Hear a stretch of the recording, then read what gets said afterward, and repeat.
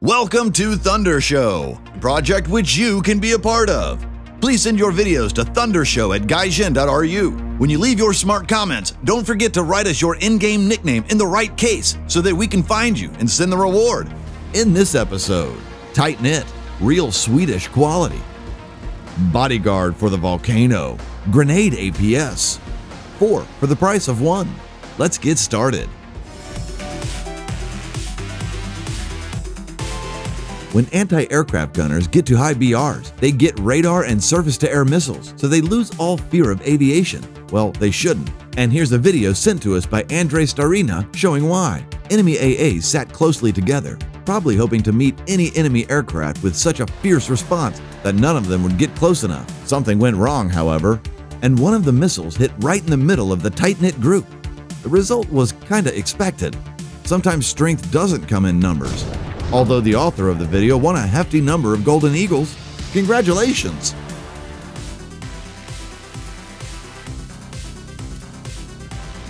Swedish tanks have received both praise and criticism throughout their history. To each their own, of course. But what's true about all of them is the high level of quality. Check out this video sent to us by Fartovi for proof. They destroyed 20 enemies in one battle, with 18 out of those 20 in the same machine. Isn't that a good demonstration of power? Power of both the machine and the commander. Such a feat deserves 5,000 eagles, hands down. They'll soon be yours, Fartovi.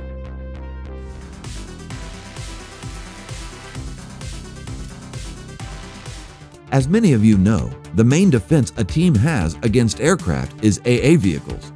But sometimes it is the tankers that save the anti-aircraft gunners from winged destroyers. Delia says is one of those saviors. They spotted an attacking plane and decided to ram an ally M143 to push them out of a rocket's way. There was no doubt that if it hadn't missed, the volcano would have become ash. This selfless act deserves a reward, Delia says. How about 5,000 Golden Eagles?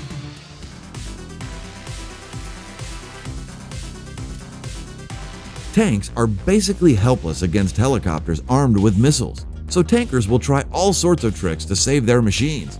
Dens had no time to use their machine gun and tried to use smokes as a last resort.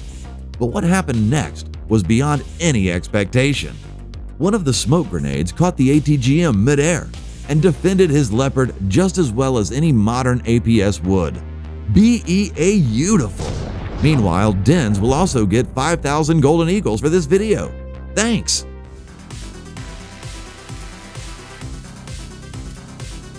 The most powerful weapon that a boat can carry is, of course, its torpedoes. A couple hundred kilos of explosives is no joke.